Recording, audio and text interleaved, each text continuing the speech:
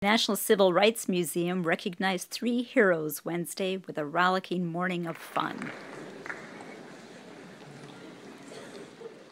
Besides the honorees, the program honored kids and their contribution. There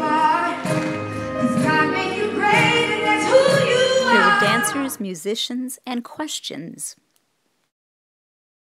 Alaya, beautiful name. Nice to meet you, Alaya. So what is your question?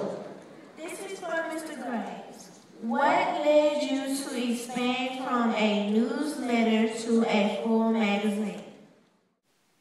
And there was lots of time to admire and be with the honorees. It's a unique experience. It is not like getting an honorary degree or some other thing, which is terrific and it's very honorable.